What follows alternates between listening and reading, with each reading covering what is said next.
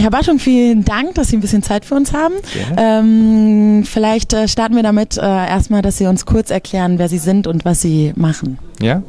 Also ähm, zurzeit bin ich äh, für die Regierung des Kantons Watt in der Schweiz ähm, äh, am Arbeiten. Ich habe, ich bin äh, operativer Direktor ähm, für alle Hochschultypen, also die Universität, die Fachhochschulen, auch die pädagogischen Hochschulen, die pädagogische Hochschule.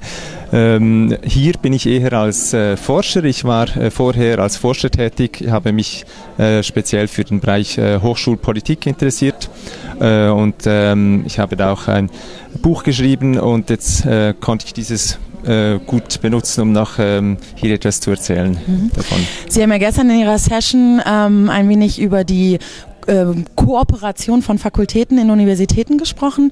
Ähm, wie sieht das denn aus? Sind Fakultäten eher kooperativ ähm, oder haben Sie das Gefühl, dass es doch sehr alles, ähm, also jeder so sein eigenes Süppchen ähm, kocht und dass es sehr autonom abläuft? Mhm.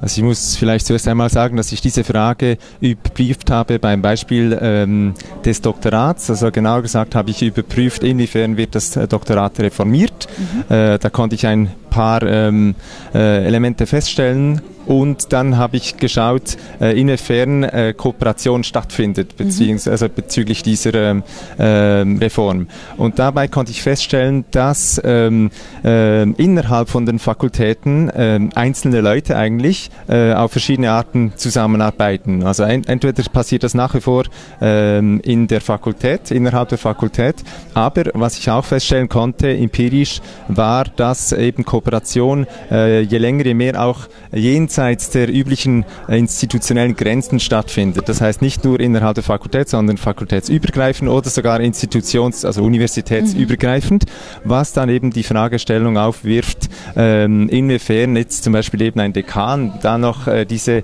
äh, Entscheidungen ähm, fällen kann äh, oder überhaupt noch die Übersicht bewahrt. Ja, und ähm, Sie sagten gerade also auch Kooperationen äh, universitätsübergreifend. Was bringt mir das denn überhaupt als, als Fakultät? Als Dekan oder auch als Universität wirklich fakultätsübergreifend ähm, zu kooperieren? Mhm.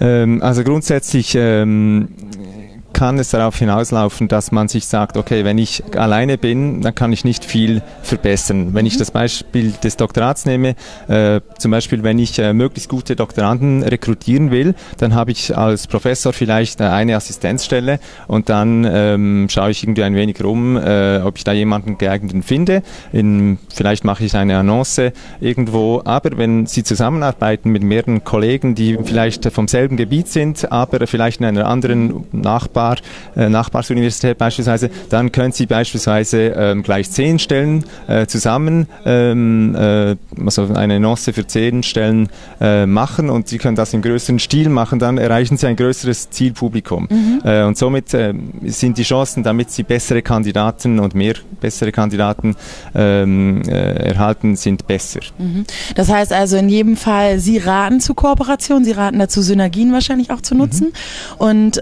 somit ein einfach äh, kompetitiver zu sein als Fakultät. Ähm, was glauben Sie, ist die Aufgabe des äh, Dekans in dem ganzen Spiel? Ja, das ist die, die gute Frage. Ich, ich denke, ähm, er sollte es ermöglichen, dort, wo es Sinn macht, ähm, mhm. zu kooperieren. Also sollte nicht hier als äh, Veto-Player äh, sein, äh, aber auf jeden Fall sollte er die Übersicht behalten, was alles abgeht innerhalb seiner Fakultät, mit wem die Leute kooperieren, ähm, damit eben auch eine gewisse Koordination stattfindet, dass nicht irgendwie wild vielleicht etwas kooperiert wird, sondern äh, dass er da die Übersicht äh, behält und dann vielleicht je nachdem auch eingreifen könnte, wenn dann irgendetwas äh, äh, schlecht koordiniert wäre. Mhm. Und vielleicht noch eine letzte Frage. Glauben Sie, dass sich das äh, in der Zukunft stark ändern wird? Also denken Sie, dass Kooperation notwendiger wird beispielsweise auch? Oder ähm, ist da eigentlich keine Änderung in Sicht? Ja, ich denke, ähm, ohne Kooperation zu handeln im Bereich der äh, Hochschulen ist eigentlich äh, undenkbar. Mhm. Ähm, ich weiß nicht, ob es jetzt mehr werden wird. Es ist heutzutage schon sehr verbreitet, also beispielsweise auch bei äh, europäischen Forschungsprojekten, ähm, bei diesen Flagship Projects, die es mhm. da jetzt gab äh, oder gibt. Ähm, es ist eigentlich undenkbar, nicht zu kooperieren. Insofern denke ich, dass das äh, weiterhin ähm, ein, ein wichtiger Punkt sein wird. Ob es dann mehr wird, das weiß ich ja. Dankeschön. Gern geschehen.